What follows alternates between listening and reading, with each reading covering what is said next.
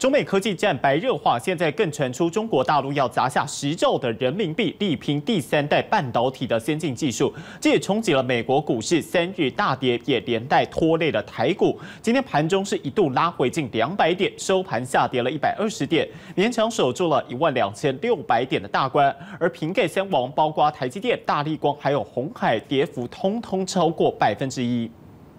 美国股市三号出现大幅获利了结的卖压，代表恐慌情绪的 FIX 指数也飙涨了超过百分之二十六，特别是纳斯达克重挫约百分之五，创三月以来的最大跌幅，而费半指数也下挫了百分之五点七，科技股沦为重灾区，包含苹果、微软、亚马逊、脸书，通通重挫，还拖累台股。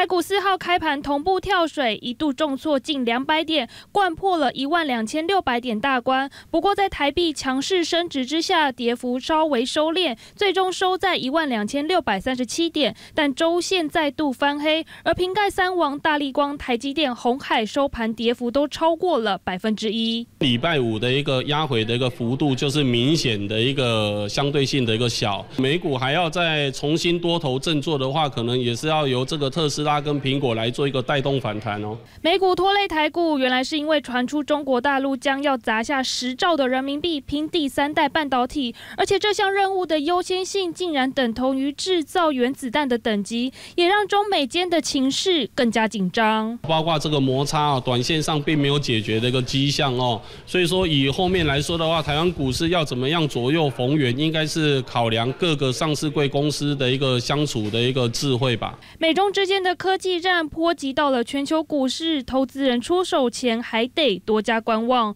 东森财经新闻需要逐科黄明台北采访报道。